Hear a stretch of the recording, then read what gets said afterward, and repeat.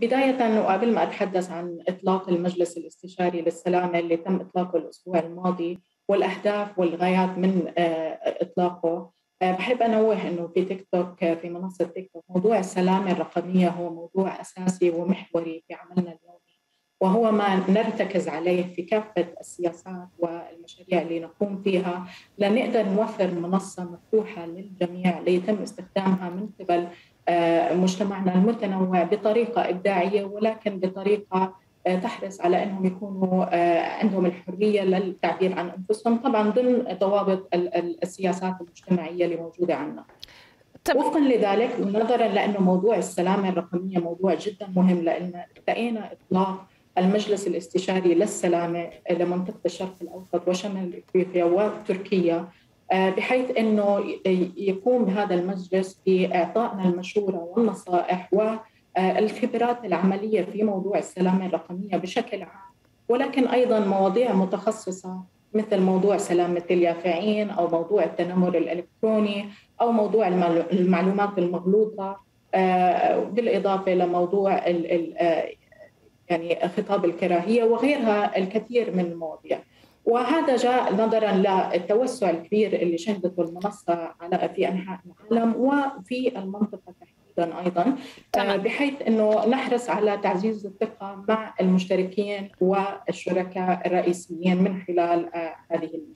سيدة فرح هل هذا إقرار بطريقة أو بأخرى بأن منصة تيك توك تواجه تحديات فيما يتعلق بسلامة المحتوى تحديدا عند الفئات العمرية الأصغر سنا؟ كنا عم نشوف الكثير من يعني هذه الأحاديث وهذه التقارير بالفترة الأخيرة. شكرا. بالعكس آه، إن كان ذلك دليل على شيء فهو دليل على المسؤولية وعلى عملنا الدائم لتعزيز الحفاظ والتعزيز الثقة اللي منحونا إياها المستخدمين والشركاء الأساسيين. موضوع السلامة الرقمية نحن بنتناوله من خلال ثلاث محاور رئيسية. الأولى اللي هي موضوع الإرشادات المجتمعية والسياسات النابعة عنها اللي هي آه، بتحدد شو هي القيم المسموح فيها وأنواع المحتوى المسموح فيها على المنصة واللي غير مسموح فيها على المنصة. ثانيا المحور الثاني اللي هو الميزات اللي بنقدمها على المنصة ليقدر نقدر نشجع المستخدمين إنه يستخدموا مثلا على سبيل المثال ميزة التفكير بالتعليقات اللي ممكن تكون مسيئة للمستخدمين الآخرين آه، فلترة التعليقات آه، موضوع خاصية الترابط العائلي للأهالي وأولياء الأمور ليقدروا ينظموا استخدام آه، أطفالهم أو أو اليافعين للمنصة وغيرها الكثير اللي ما عندنا الوقت كثير ندخل فيها. هلا ثالثا المحور الثالث وهو محور أساسي إنه التواصل المباشر مع الخبراء في مجال السلامة الرقمية اللي بنقوم فيه على على آه، يعني على مراحل متعددة وفي كافة المشاريع. وأخذنا خطوة متميزة في إطلاق المجلس الاستشاري للمنطقة متخصص حدثينا سيدة فرح قليلا عن آلية عمل هذا المجلس وكيف يمكن أن يضمن؟ يعني الإعلان من الخارج جميل جدا ولكن كيف لنا أن نضمن أن يكون فعالا على الأرض ويحمي هذه الفئة العمرية التي تتحدثين عنها؟ بالنسبة للمجلس الاستشاري هو مجلس مكون من قادة من الأوساط الأكاديمية والمجتمع المدني اللي عندهم خبرات عملية في مجال السلامة الرقمية في مختلف التخصصات.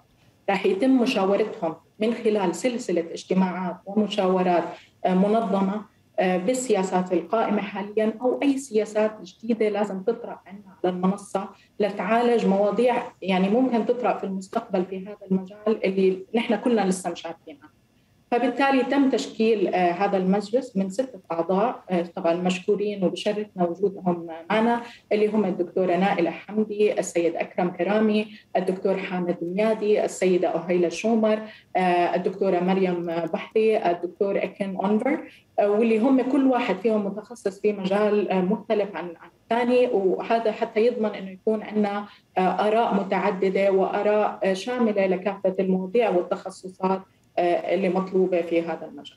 فعلا يعني مثل هذا المجلس مطلوب وهذه الجهود اليوم لضمان سياسات السلامه تحديدا للمراهقين وما لذلك من تداعيات وخيمة إذا لم يتم معالجة مثل هذه القضايا. شكرا جزيلا سيدة فرح توقان مديرة السياسة العامة في تيك توك لمنطقة الشرق الأوسط وتركيا وأفريقيا وباكستان أيضا.